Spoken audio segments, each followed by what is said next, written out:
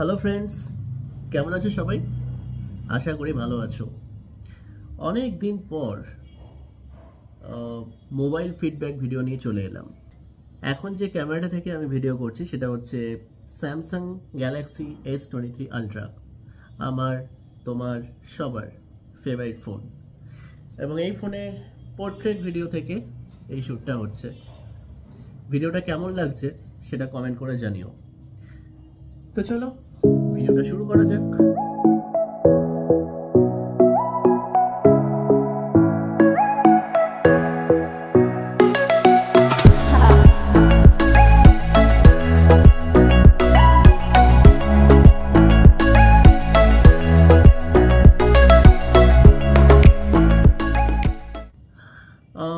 Mobile feedback video নিয়ে তো চলে এসেছি। কিন্তু এখন প্রশ্ন হলো যে কি মোবাইল? এত দিন পর হঠাৎ করে আবার কোন মোবাইলের ফিডব্যাক ভিডিও নিয়ে চলে এলাম? প্রথমেই বলে রাখি, আমি বাকি ইউটিউবার্সদের মতো অত ভালো করে হয়তো বলতে পারব না। যেটা বিভিন্ন রকম যে চ্যানেলগুলো আছে ইউটিউবে, যেখানে মোবাইলের ফিডব্যাক ভিডিও দেখানো হয় বা আনবক্সিং ভিডিও দেখানো হয়, ওদের মতো হয়তো ভালো করে বলতে পারব না। এই মোবাইল ফিডব্যাক ভিডিওর যে ব্যাপারটা মানে যেটা আমার চ্যানেলে হয়, সেটা হচ্ছে আমার মোবাইলটা ইউজ করে পার্সোনালি কেমন লাগে, সেটা আমি তোমাদের সাথে শেয়ার করি। এবং তোমরা জানো যে আমি যত ভিডিও করি, কারণ আমি তো ক্যামেরা ইউজ করি না মোবাইল ইউজ করি, কারণ মোবাইল ইউজ করতে আমার খুব ভালো লাগে। এবং মোবাইল থেকে ভিডিও করে এডিটিং করাটা আমার পক্ষে কমফোর্টেবল হয়। তো আমি মোবাইল থেকে ভিডিও শ্যুট করি এবং এডিটিং করি। তো সেই জন্য আমাকে মোটামুটি একটু ভালো মোবাইল ইউজ করতে হয়। তো চলো, আজকে যে ফোনটা আমি ফিডব্যাক ভিডিও দেখাবো, সেটা হচ্ছে Samsung Galaxy Z Flip 5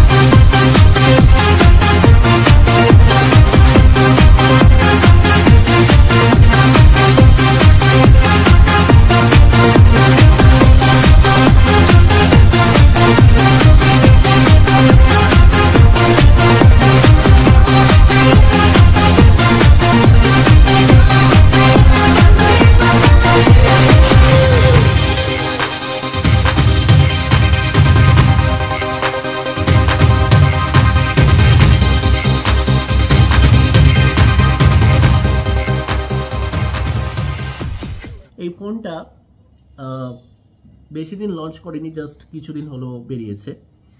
এবং এই ফোনটার সম্বন্ধে বলতে গিয়ে বেশ কিছু কথা আমি তোমাদের সাথে শেয়ার করব। ভিডিওটাতে বেশি লম্বা না হয় সেটা দেখছি। তো প্রথম যে কথাটা আমি বলব সেটা হচ্ছে, এই যে ফ্লিপ ফোনের যে কনসেপ্টটা মানে যেটা আমার আমার বেশ মনে আছে, আমি যখন খুব ছোট ছিলাম, যখন স্কুলে পড়তাম, তখন তো এরকম টাচস্ক্রিনের ফোন বেরোয়নি। তখন কিপ্যাডের ফোন মানে আমাদের এখানকার মধ্যে যদি বলি যে কিপ্যাডের ফোন যখন দেখতাম যে মানে ফোল্ড হচ্ছে ফ্লিপ হচ্ছে, যে জিনিসটা থাকতো ফোল্ড হচ্ছে ফ্লিপ হচ্ছে, যে কনসেপ্টটা যখন আমরা দেখতাম ছোটোবেলায়, ঠিক আছে? তো সেই ফোনগুলো দেখে আমার খুব কিনতে ইচ্ছে করতো। আমি একটা নোকিয়ার ফ্লিপ ফোন কিনেছিলাম এবং ফোনটি আমার খুব পছন্দের ফোন ছিল, ওই ফ্লিপ করা যায় বলে। এবং ওই সময় যে ফ্লিপ ফোনগুলো পাওয়া যেত নোকিয়া মোটরোলা এলজিরও একটা পাওয়া যেত। তো ওই ফোনগুলোর যেটা আমার সব থেকে বেশি ভালো লাগতো এটা হচ্ছে ফোল্ড সিস্টেম ফ্লিপ ব্যাপারটা এলো যে স্যামসাং যেটা নিয়ে আসলো স্যামসাং গ্যালাক্সি জেড এর মধ্যে জেড সিরিজের মধ্যে, তো আমি এর আগে ইউজ করিনি। আমি এর এর আগে অপর একটা ফ্লিপ ফোন ইউজ করেছি। বেশি দিন হয়নি জাস্ট কিছুদিন আগে একটা অপর ফ্লিপ ফোন ইউজ করেছি সেটা ফিডব্যাক ভিডিও দেওয়া হয়নি। ঠিক আছে, দেবো দেবো করে হয়নি, একটু কাজের চাপে ব্যস্ত ছিলাম। তো আমি ভাবলাম যে এবার, যেহেতু অনেক দিন হয়ে গেছে ভিডিও দিইনি, তো এবার এই জেড ফ্লিপের ব্যাপারে তোমাদের সাথে শেয়ার করি। দেখো, আমি বেশি কিছু হয়তো বলতে পারব না ভিডিওতে আমি শুধু এই ফোনটা ইউজ করে আমার কেমন লেগেছে সেটা তোমাদের সাথে শেয়ার করব। আর ডিটেলস ভিডিও তো তোমরা ইউটিউবে অনেক ইউটিউবার আছে যারা এগুলো নিয়ে আর কি ভালো রকমভাবে, আমার থেকে বেটারভাবে ভিডিওগুলো প্রেজেন্ট করবে। তো তাদেরটা দেখে নিলে বেশি ভালো হবে বাট আমি আমার ফিডব্যাক ভিডিও দেবো। যারা আমার ভিডিও দেখো, যারা প্রিন্স মহা চ্যানেলের সাথে যুক্ত আছো, তারা কমেন্ট করে জানিও এবং আমি আমার রিভিউটা তোমাদের সাথে শেয়ার করছি। তো ভিডিওটা লম্বা না করে, চলো শুরু করে দিই। তো প্রথম এই যে ফোনটা, এই যে ব্যাপারটা, এই ফোনটা দেখে একটা কথা তো বুঝতে পারছ, এটা কমফোর্টেবল ফোন কেন কমফোর্টেবল ফোন কারণ এই যে এত ছোট হয়ে গেল ফোনটা এটা যে কোনো পকেটে ঢোকানো যায়। ঠিক আছে মানে খুব সহজে ঢুকে যাবে। কারণ নর্মালি এখনকার স্মার্টফোনের দুনিয়ায় মানে যখন বড় বড় ফোন আমরা দেখি, যেমন গ্যালাক্সি এস টোয়েন্টি আলট্রা তোমরা দেখেছ? যে বিশাল বড় সাইজের ফোন যেটা চট করে পকেটে হয়তো ধরে না। ঠিক আছে? বা আমি যদি আইফোন ফোরটিন প্রো ম্যাক্সের কথা বলি, অনেকটা বড় মানে বড় ডিসপ্লে ঠিক আছে? তো সেই জায়গায় দাঁড়িয়ে এই ফোনটা খুবই কমফোর্টেবল এবং খুবই সুন্দর। এবং বলে রাখি, এই ফোনের যেটা সব থেকে প্লাস পয়েন্ট এবং ফ্লিপের মধ্যে যেটা সব থেকে আমার মনে হয় প্লাস পয়েন্ট এখনও অবধি ফ্লিপ ইন্ডাস্ট্রিতে সব থেকে বেস্ট কভার স্ক্রিন মনে হয় এই স্যামসাং গ্যালাক্সি জেড ফিফ ফাইভের কারণ তোমরা দেখতেই পাচ্ছ যে এই যে এখানে, এটা থেকে আমরা অনেক কিছুই করতে পারছি এবং কাজ করতে পারব এখান থেকে অপারেট করতে পারব। ঠিক আছে? এখান থেকে অপারেট করা যাবে। তো আমাদের এটা একটা ছোটোখাটো স্ক্রিনের কাজ করবে। কারণ এই এইখান থেকে আমরা ইনফ্যাক্ট চ্যাট করতে পারি। তোমরা দেখতেই পাচ্ছ কত সুন্দর করে চ্যাট করা যাচ্ছে। এবং ছোট্ট একটা ডিসপ্লে যেখানে খুব সুন্দর করে টাইপ করতে পারছি। এটা একটা সত্যি দারুণ ব্যাপার। আমরা ক্যামেরা ফটো তুলতে পারি ঠিক আছে? এখান থেকে মানে এই ক্যামেরাটা দিয়ে। ব্যাক ক্যামেরাটাই ফ্রন্ট ক্যামেরার কাজ করছে ফলে পিকচার দারুণ আসছে। তো ওভারঅল খুব ভালো ফোন এবং এর যে বিল্ড কোয়ালিটি সেটা নিয়ে যদি কথা বলি তো বলতে হবে ব্যাক আর ফ্রন্টে গরিলা গ্লাস ভিক্টাস টু এর প্রোটেকশন আর তার সাথে আছে আর্মার অ্যালুমিনিয়ামের ফ্রেম ডান দিকে আছে ভলিউম আপ ডাউন বাটন আর তার সাথে পাওয়ার অন অফ বাটন আর বাঁ দিকে আছে সিম কার্ড লাগানোর জায়গা, সিম ট্রে, যেখানে একটা ন্যানো সিম ইউজ করতে পারব। আর ডুয়েল সিম ইউজ করতে গেলে ই সিম ইউজ করতে হবে। মেমোরি কার্ড ঢোকানোর জায়গা নেই। নিচে আছে speaker grill USB type C port, আর তার সাথে দুটো মাইক্রোফোনের জায়গা। আর ওপরে আছে নয়েস ক্যান্সেলিং মাইক্রোফোন। আমার নতুন ফোনের নতুন cover flip case limited edition যেটা দেখতে খুব সুন্দর লাগছে। এবং এই কভারটা লাগানোর পর অনেকটা ওয়ালেটের মতো লাগছে না? যেন মনে হচ্ছে ওয়ালেট নিয়ে বেরিয়েছি। কভারটা পরিয়ে ফোনটা আরও দেখতে সুন্দর লাগছে। স্যামসাংয়ের ডিসপ্লে বরাবরই খুব সুন্দর হয় এবং এক্ষেত্রেও সেটাই। সামনে আছে six point seven inch full HD super AMOLED display যেটা দেখতে খুব সুন্দর লাগছে। আর কভার স্ক্রিনে আছে three point four inch super AMOLED display যেটা থেকেও সব কিছু প্রায় করা যাবে। যারা ছোট সাইজের ফোন পছন্দ করো, তাদের জন্য অ্যাপ্রোপ্রিয়েট এই ছোট স্ক্রিনেও আমরা ইউটিউব দেখতে পাচ্ছি। সত্যি, দারুণ ব্যাপার। এখনও পর্যন্ত ফ্লিপ ফোন ইন্ডাস্ট্রির মধ্যে সব থেকে বড় কভার স্ক্রিন বা কভার ডিসপ্লে হচ্ছে স্যামসাং গ্যালাক্সি জেড ফ্লিপ ফাইভের ডিসপ্লে এই ফোনের ডান দিকে আছে সাইড মাউন্টেড ফিঙ্গারপ্রিন্ট সেন্সার ফলে খুব তাড়াতাড়ি তোমরা দেখতেই পাচ্ছ ফোনটা আনলক হয়ে যাচ্ছে। এবং তারই সাথে আছে ফোনকে আনলক করার জন্য ফেস আনলক সিস্টেম ফোনের বাক্সে সেরকম কিছুই নেই। আছে কিছু ডকুমেন্টেশন আর আছে USB type C to type C cable and তার সাথে একটা সিম ইজেক্টার পিন ফোনটা ল্যাভেন্ডার কালারটা জাস্ট ফাটাফাটি লাগছে। এবার চলে আসি ব্যাটারির প্রসঙ্গে। সাঁত্রিশশো এমএচের ব্যাটারি দিয়েছে, যেটা শুনতে অনেকটাই ছোট মনে হচ্ছে। এবং চার্জ দেওয়ার জন্য কোনো চার্জার ফোনের বাক্সে নেই, তাই আলাদা করে কিনতে হয়েছে। এটা ম্যাক্সিমাম পঁচিশ ওয়ার্ড সাপোর্টেড তবে এটা সত্যি মানতে হবে যে আজকের দিনে দাঁড়িয়েও এই ফোনটাকে zero to hundred percent charge করতে মোটামুটি দেড় ঘণ্টার কাছাকাছি লাগে, যেটা একটু সমস্যাদায়ক। তবে Qualcomm Snapdragon eight Gen two প্রসেসরের জন্য এর ব্যাটারি ব্যাকআপ একটু হলেও ভালো। কারণ এই প্রসেসরটা পাওয়ারফুল প্রসেসর এইবার চলে আসা যাক ক্যামেরা প্রসঙ্গে। তোমরা দেখতেই পাচ্ছ, ফোনটাকে ল্যাপটপের মতো রেখেছি। তো এইভাবে স্ট্যান্ডে রেখে মানে স্ট্যান্ডের মতো কাজ করে ফ্লিপ ফাইভ যে তোমরা যারা ভিডিও করতে পারো না কেউ ধরে না দেওয়ার জন্য, তো তারা এইভাবে ভিডিও করতে পারবে। এটা হচ্ছে গ্যালাক্সি জেড ফ্লিপ ফাইভের পোর্ট্রেট ভিডিও তোমরা দেখতে পাচ্ছ। ব্যাকগ্রাউন্ডটা ব্ল্যাক অ্যান্ড হোয়াইট আর আমি কালারে আছি। এই অপশানটা আমার খুব দারুণ লাগে। যেটা আমি শ্যুট করছিলাম Galaxy S twenty three ultra থেকে, এবং এটা জেড ফ্লিপ ফাইভেও দিয়েছে অপশানটা এবং চাইলে এরকম ব্লারও করে দেওয়া যায়। যেটা আরও ভালো, যেটা আমরা আগে দেখতে পেতাম ফটোর ক্ষেত্রে, যে শুধু ফটো ব্লার করা যায়, কিন্তু এখানে খুব সুন্দরভাবে ব্যাকগ্রাউন্ডটাও ভিডিওতে ব্লার করা যায়। তো তোমরা যদি ব্যাকগ্রাউন্ডটা দেখাতে না চাও ব্লার করতে পারো। নিজেদের মতো করে অ্যাডজাস্ট করতে পারো ব্লারটা কতটা ব্লার করবে, কতটা করবে না। এই ফোনের পিছনে আছে টুয়েলভ মেগাপিক্সেল মেন ক্যামেরা আর twelve megapixel ultra wide camera আর ফ্রন্টে আছে টেন মেগাপিক্সেল সেলফি ক্যামেরা। আর তার সাথে আছে প্রচুর প্রচুর ক্যামেরা ফিচার্স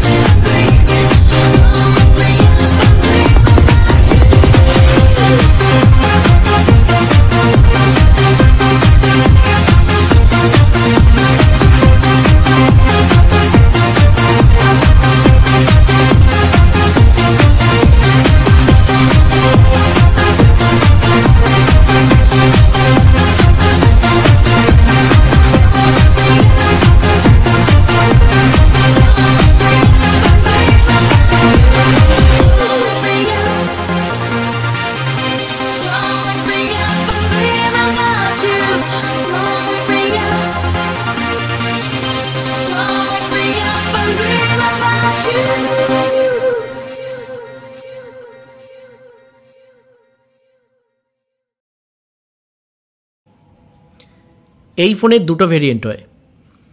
একটা হচ্ছে আট জিবি র্যাম দুশো ছাপ্পান্ন জিবির সাথে, আর নয়তো আট জিবি র্যাম পাঁচশো বারো জিবির সাথে। তো দেখতেই পাচ্ছ তোমরা, পাঁচশো বারো জিবি ইন্টারনাল স্টোরেজ যেটা আমি ইউজ করছি, এবং লাইফে ফার্স্ট টাইম পাঁচশো বারো জিবি কোনো ফোন আমি ইউজ করছি। প্রচুর প্রচুর space definitely I am so excited এবং এই ফোনের স্পিকারও বেশ লাউড স্টিরিও স্টাইল স্পিকারস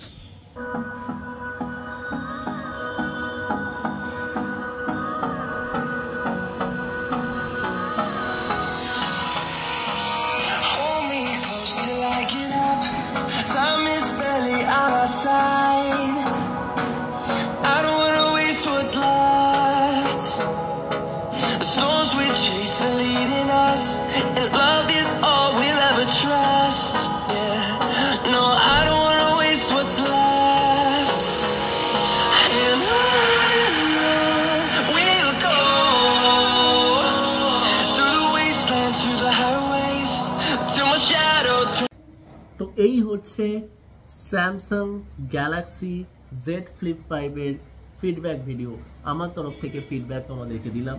কারণ আমার মনে হয় যে এই ফোনটা তাদের জন্য খুবই ভালো ফোন। যারা কমফোর্টেবল ফোন পছন্দ করে, যেটা পকেটে সহজে ঢুকে যাবে এবং স্টাইলিশ দেখতে হবে। কারণ এই ফোন নিয়ে তোমরা যখন বাইরে বেরোবে আমি ড্যাম শিওর যে কেউ না কেউ এই ফোনটা দেখবে। যারা জানে তারা জিজ্ঞেস করবে না, তারা শুধু দেখবে ফোনটা আর যারা জানে না, তারা জিজ্ঞেস করবে যে দাদা, এটা কী ফোন তো সেই জন্য লোককে দেখানোর জন্য হলেও এই ফোনটা একবার তোমাদেরকে ট্রাই করা উচিত। আমার মনে হয় যে ফোনটা খুবই সুন্দর ফোন তবে এই ফোনের যেটা আমার যেটা নেগেটিভ দিক মনে হয় আমি আমি এবার এক এক করে আমার পজিটিভ আর নেগেটিভ দিক আমার দিক থেকে বলছি। তো প্রথমে আমি চলে আসি পজিটিভ দিকে। তো দেখো, এই ফোনের সব থেকে পজিটিভ দিক তো এটাই যে ফোনটা ফোল্ড করে তুমি যে কোনো পকেটে ঢোকাতে পারছ। মানে চট করে ঢুকে এমনকি এটা জামার বুক পকেটেও ঢুকে যাচ্ছে, ঠিক আছে? এবং এই যে কভারটা তোমরা দেখতে পাচ্ছ, এটা দেখে অনেকে মনে করেছে মানে আমি যখন নিয়ে বেরিয়েছিলাম যেটা ওদের কোনো পার্স ওয়ালেট কিন্তু মানে কভারটা আমি সেরকমই নিয়েছিলাম। তো ডেফিনেটলি বুঝতেই পারছ এটা কমফোর্টেবল এটা হচ্ছে ফার্স্ট পজিটিভ দিক যে এটা কমফোর্টেবল সেকেন্ড পজিটিভ দিক হচ্ছে, সেটা হচ্ছে ওয়াটার প্রুফ ঠিক আছে? আইপি এক্স এইট রেটিং আছে। ওয়াটার প্রুফ ঠিক আছে? ডাস্ট প্রুফ নয় ওয়াটার প্রুফ ফলে কী হবে? বৃষ্টিতে এখন তো বৃষ্টির ওয়েদার বৃষ্টিতে ভিজলেও কোনো প্রবলেম নেই। ফোন নষ্ট হচ্ছে না। চলছে, দীর্ঘক্ষণ ধরে চলছে।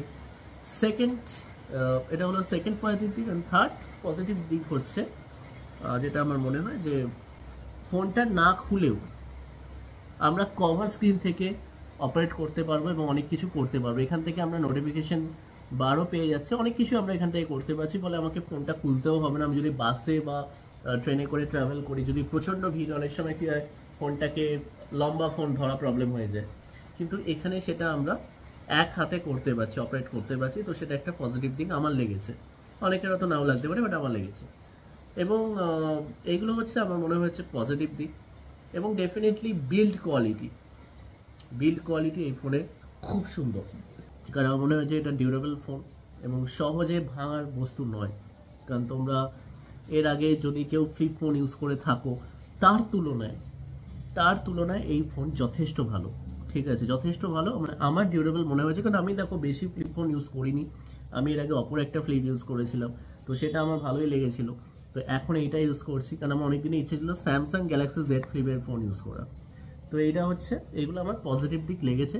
আর ক্যামেরার কথা যদি বলো যে ক্যামেরা আমি আমি অনেস্ট বলব যে ক্যামেরা এস টোয়েন্টি থ্রি আলট্রার মতো তো ডেফিনেটলি না। কারণ এস টোয়েন্টি থ্রি আলট্রাতে যে ধরনের ক্যামেরা আমরা পাই, ঠিক আছে, তার যে ব্যাপারটা আছে এস টোয়েন্টি আলট্রা মানে ইউজ করে মনে হয় যে আমি ছোটোখাটো ডিএসএলআর ইউজ করছি। সেইটা হয়তো এর মধ্যে নেই বাট এর ক্যামেরা ওভারঅল ভালো। এবং এটা সব থেকে যেটা বেস্ট পার্ট হচ্ছে, তুমি ব্যাক ক্যামেরা থেকে ফ্রন্ট ক্যামেরা রেকর্ড করতে পারবে, যেটা তুমি নর্মাল ফোনে কি হয় যে তোমাকে তোমাকে সেলফি থেকে সেলফি ক্যামেরা দিয়ে নিজের ফটো বা ভিডিও তুলতে হয়। কিন্তু এই ফোনে যেহেতু এরকম সিস্টেমটা আছে, ফলে এটা তো ব্যাক হয়ে যাচ্ছে খুললে। এবার এই ব্যাক ক্যামেরাটা যেটা আছে, সেটাই এবার এরকম করলে ফ্রন্ট হয়ে যাচ্ছে আমি এখান থেকে আমি ভিডিও করতে পারছি। ফলে পিকচার আর ভিডিও এই দুটোই খুব সহজেই ফোন থেকে তোলা যাচ্ছে এবং সেই কোয়ালিটিটাও খুব সুন্দর আসছে। আরও একটা পজিটিভ দিক এর প্রসেসর এবং ডেফিনেটলি এই যে প্রসেসরটা ইউজ করা হচ্ছে, ঠিক আছে, সেটাও লেটেস্ট প্রসেসর তো সেই দিক থেকে বলতে গেলে এটা একটা পজিটিভ দিক। এবং এর ফলে ব্যাটারি ব্যাকআপটা জেড ফ্লিপ ফোর সিরিজের যে ফোনটা ছিল, আমি শুনেছি যারা ইউজ করেছে তাদের থেকে খুব ব্যাটারি কম হতো। তাদের থেকে স্লাইটলি বেটার এর ব্যাটারি ব্যাকআপ ঠিক আছে, তো এইগুলো আমার পজিটিভ দিক। এই কদিনে লেগেছে। এই কদিন বলতে ফোনটা জাস্ট আমার দুদিন হয়েছে। এর বেশি তো আমি এখনও অব্দি ইউজ করিনি লং টাইম ইউজ করলে বুঝতে পারব। তো ফোনের এগুলো হচ্ছে আমার পজিটিভ দিক লেগেছে। এবার নেগেটিভ দিক যদি বলো, তো আমি ফার্স্টেই বলে দিই, আমি ফোনটা এখনও বেশি দিন ঘাটার সুযোগ পাইনি। আর অত ভালো রিভিউয়ারদের মতো আমি রিভিউ দিতে পারি না। তো আমার নজরে যেটা আমার নেগেটিভ লেগেছে, আমি সেটা বলছি। যেটা হচ্ছে যে এই ফোনটা যখন আমি লম্বা করছি, ঠিক আছে, তখন এক হাতে পুরোটা মানে কি বলব অপারেট করে একটু চাপ হয়ে যায়। আমার হয়, সবার হবে কিনা আমি বলতে পারব না, আমার হয়, ঠিক আছে? মানে একটু মনে হচ্ছে যেন একটু চাপ হয়ে যাচ্ছে। এখান থেকে যখন আমি উপরের দিকে হাতটা যাচ্ছে, তখন যাচ্ছে না। দেখুন নোটিফিকেশন তখন আমাকে দু হাত ইউজ করতে দু হাত ধরে আমাকে ইউজ করতে হচ্ছে। এটা একটা আমার নেগেটিভ দিক মনে হয়েছে। আবার অনেকের না মনে হতে পারে। সেকেন্ড যেটা নেগেটিভ দিকে আমি বলব, সেটা ডেফিনেটলি ব্যাটারি ব্যাকআপ কারণ মানে আমরা মানে আমি যেহেতু পার্সোনালি প্রচুর ফোন ঘাঁটি এবং আমাদের এখনকার এখনকার সময়তে দাঁড়িয়ে আমরা মনে হয় সব থেকে বেশি ফোনের সাথেই সারাটা দিন কাটে। ঠিক আছে, এটা এটা তোমরা হয়তো সবাই একমত হবে। কারণ আমরা দেখবে এখনকার সময়তে ফোন থেকে আমরা সব কিছু ইচ অ্যান্ড এভরিথিং করছি। সেটা মেল পাঠানো হোক হোয়াটসঅ্যাপ চ্যাট হোক বা সোশ্যাল মিডিয়ার সাথে হোক বা গেম খেলা হোক। ঠিক আছে, যদি আমি নিজে গেম খেলি না। ঠিক আছে, বা ভিডিও এডিটিং হোক ইচ অ্যান্ড এভরিথিং তো ফোনের সাথে আমাদের বেশি টাইম কাটাতে হয়। তো ব্যাটারি ব্যাকআপটা একটা ম্যাটার করে। এই ফোন আমি সকালবেলা আটটায় ঘুম থেকে উঠে যখন আমি যখন থেকে এই ফোনটা ইউজ করছি, ঠিক আছে, আমি একদিন সারাদিনের ভিত্তিতে বলছি, আমি যেরকম রাফ ইউজার ঠিক আছে গেম না খেলে সোশ্যাল মিডিয়া ইউজ করে ক্যামেরা ভিডিও এগুলো ইউজ করে, ঠিক আছে, টুকটাক টুকটাক গেম খেলে, একদম টুকটাক গেম খেলে, আমার যেটা মনে হয়েছে, এর ব্যাটারি আমার মোটামুটিভাবে চারটে পাঁচটার মধ্যে শেষ হয়ে গেছে মানে শেষ হব হব হব করছে। ঠিক আছে।